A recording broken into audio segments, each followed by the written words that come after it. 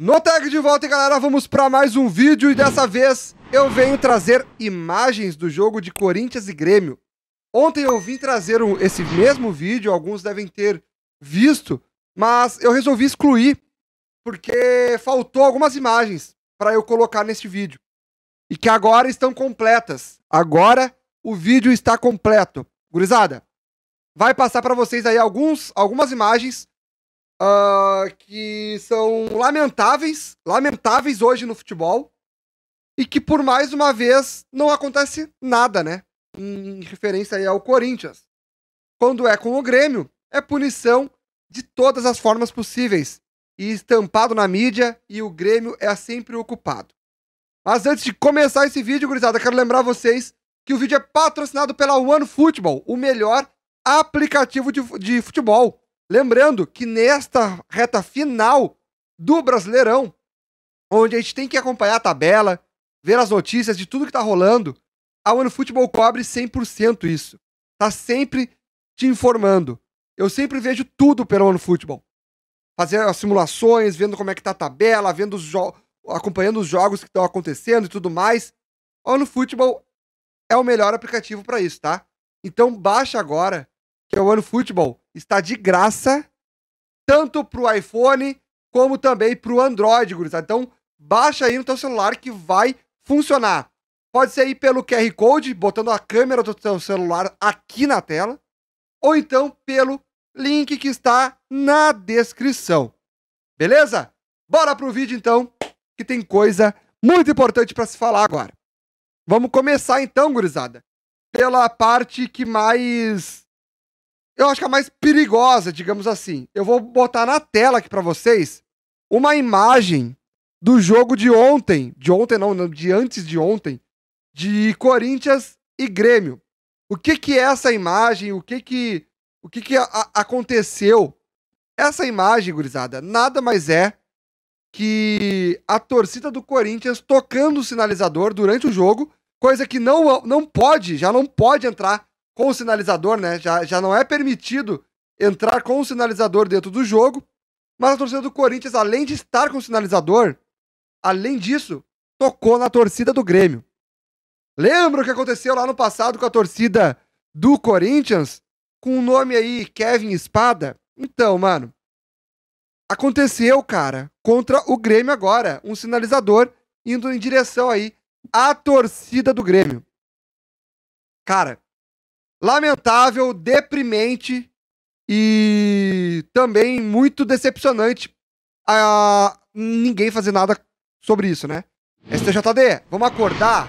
Vamos acordar, não é só o Grêmio que existe, tá? Tem outros clubes aí, tem torcidas que fazem coisas às vezes muito piores. Ah, mas a torcida do Grêmio é racista. Cara, teve um caso. Ah, tem músicas racistas. Cara, as músicas que falam que é de racismo, eu não quero nem entrar no, no, no mérito mas não, não se é cantada há anos. Não, não quero nem entrar no mérito de ah, se é racista ou não é. Cara, na dúvida, já foi tirado. Já foi tirado essas músicas. E o Grêmio continua sendo estampado como um time racista, torcida racista. E agora, mais uma coisa da torcida do Corinthians é o grito da torcida para uh, não só o, os gremistas, mas para todo o povo gaúcho, né? Gritando aí uh, gaúcho viado. Isso mesmo, cara. A torcida do Corinthians falando aí, uh, dando cânticos homofóbicos. E mais uma vez, nada acontece. Pelo menos até então, né? Até o dia de hoje, dia 7 de dezembro. Esperamos que as providências sejam tomadas. Quero que esse vídeo chegue, cara, no maior número de pessoas possíveis. Quero que vá pra mídia. Eu sei que vai chegar, eu sei que já tem gente compartilhando. Mas eu quero ver, mano. Eu quero ver se vai ter alguma punição. Fora isso também, cara, olha só, né? Tem também as, as imagens da fumaceira que aconteceu no jogo, que tá mostrando aí na tela também. A fumaceira criada aí pela torcida do Corinthians, pelos seus sinalizadores. Ué, ué, a torcida do Corinthians pode? Porque quando é as outras torcidas, é punição, é multa. Mas e aí, pro Corinthians tá liberado? Explica aí, CBF, explica aí, STJD. A gente tem que entender o que pode e o que não pode. Para uma torcida é uma punição, para outra é outra ou nenhuma. É inadmissível isso acontecer, cara. É inadmissível. A gente só quer entender. A gente quer justiça, a gente quer direitos iguais, cara.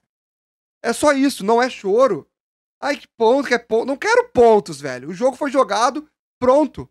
Quero saber da parte da torcida, quero saber punição para as torcidas, para os clubes, para outro, os outros clubes que sempre acontecem coisas parecidas com as do Grêmio, às vezes até pior, e não acontece nada.